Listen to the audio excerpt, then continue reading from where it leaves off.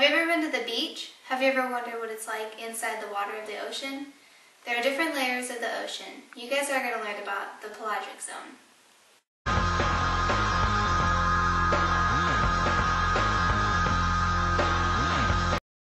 This is the open part of the water that isn't including the seafloor. The pelagic zone is nearly 4,000 meters deep. Since it doesn't include the seafloor, there are no plants included. Some animals that live in this area of the ocean are sea turtles, squid, fish, and marine mammals.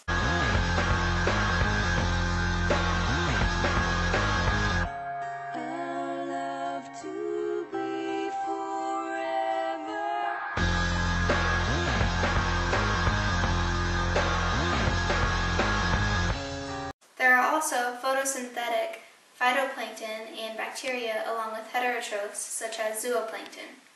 The zooplankton are worms, shrimp-like krill, jellies, and larvae which feed on the phytoplankton.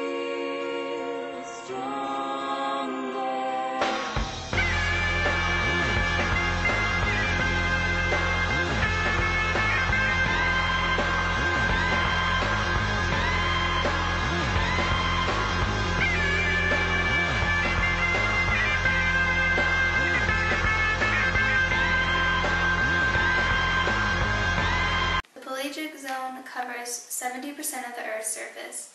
It also has wind currents, which are how the bacteria drift in the water. The temperatures are very cold in this zone and there are high levels of oxygen.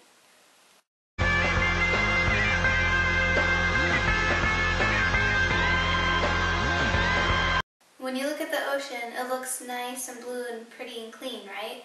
Well, in reality, in the water, the organisms are facing a lot of life-threatening challenges. People are overfishing, which is decreasing the amount of fish in the water. Also, people are dumping waste into the water, which is affecting the health of the organisms.